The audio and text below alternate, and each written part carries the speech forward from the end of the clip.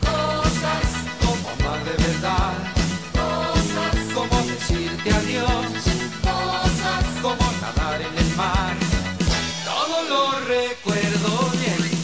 Cosas por las que uno llora, cosas esas que.